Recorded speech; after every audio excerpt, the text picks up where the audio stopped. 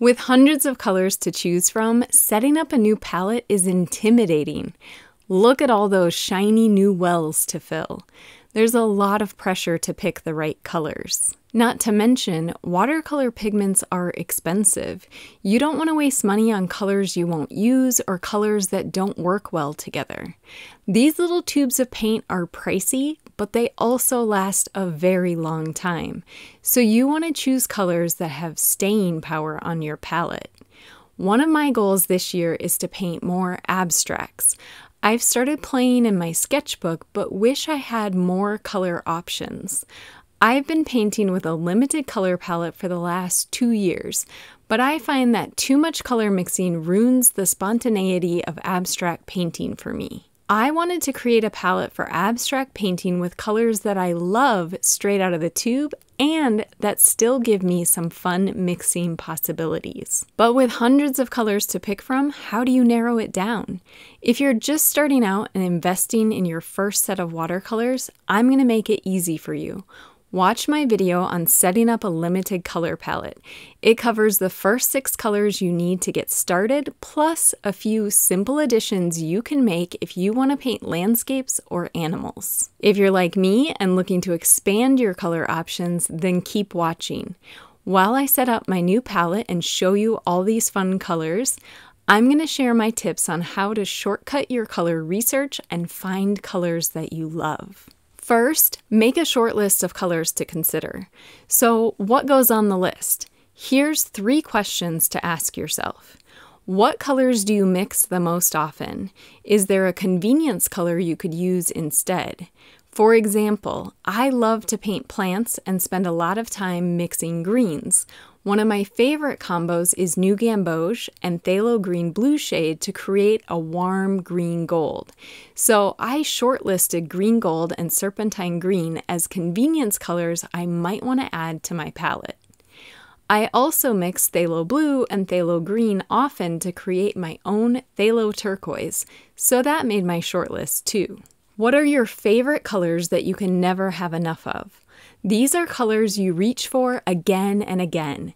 For me, it's greens and blues, especially turquoise and teals. So I shortlisted a bunch of green and blue options to consider for my palette. I knew I wanted my abstract palette to have more cool than warm colors. What colors do you use the most often and how could they be better? I don't use a lot of warm colors like yellow, orange, and red, but I do love a pop of pink.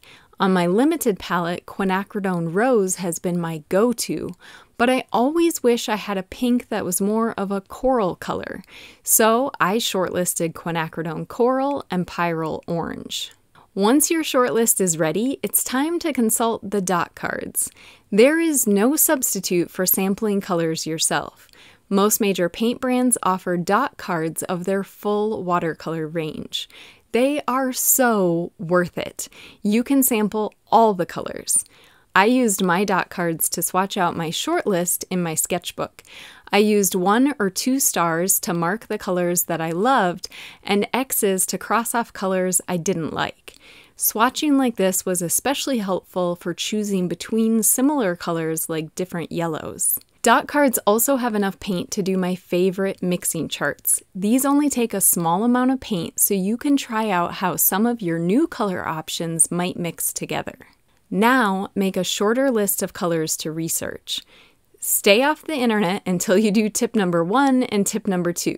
Seriously, or you'll end up down a rabbit hole of swatching videos and your list of colors will grow out of control.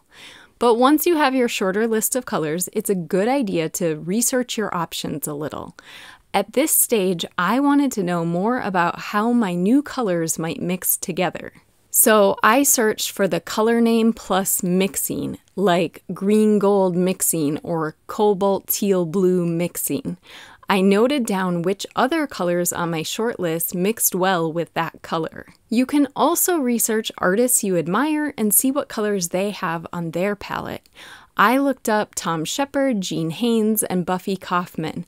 They're all artists whose color choices I love, and they share great color mixing advice. Seeing what was on their palettes and their favorite Daniel Smith colors reaffirmed some of the colors on my shortlist. It's time to make the final cut. Okay, I may be getting way ahead of myself, but it would be a dream come true to create my own Daniel Smith artist set someday. So, when it came down to making my final color choices, I thought if Daniel Smith reached out to me, what colors would I include in my signature palette? That helped me make my final selections. I chose 12 new colors, and to fill all 18 wells in my new palette, I added in six of my favorite colors from my limited color palette.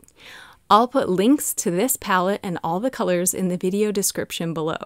You can also grab a free traceable swatch card designed to fit under the mixing tray in this 18 well palette. Without further ado, here are the 18 colors I chose for my custom palette quinacridone rose, quinacridone coral, pyrrole orange, Aussie red gold, new gamboge, nickel azo yellow, green gold, fuchsite genuine, phthalo green blue shade, cobalt teal blue, phthalo turquoise, phthalo blue green shade, Prussian blue, cobalt blue, ultramarine blue, lavender, neutral tint, and buff titanium. If I could hold joy in the palm of my hand, this palette would be it.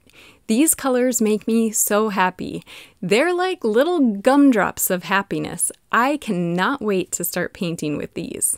But first, color swatching and mixing. Once you've chosen all your new colors, you need to do a full round of color mixing charts to see all the fun color mixes you can make. Check out my color mixing tutorial for a fun and fast way to mix all your new colors.